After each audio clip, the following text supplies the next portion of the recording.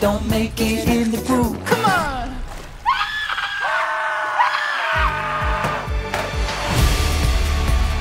There's a crocodile in the house! Oh, hello. You must be the new tenants. Hector P. Valenti at your service. I see you've met my crocodile. He's an extraordinary talent. His name is Lyle. Shadow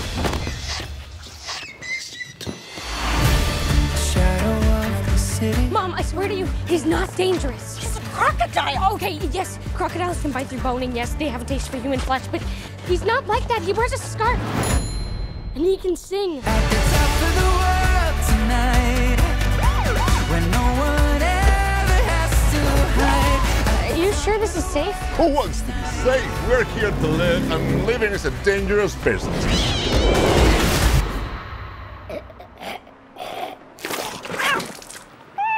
That was awesome. There is treasure you can find.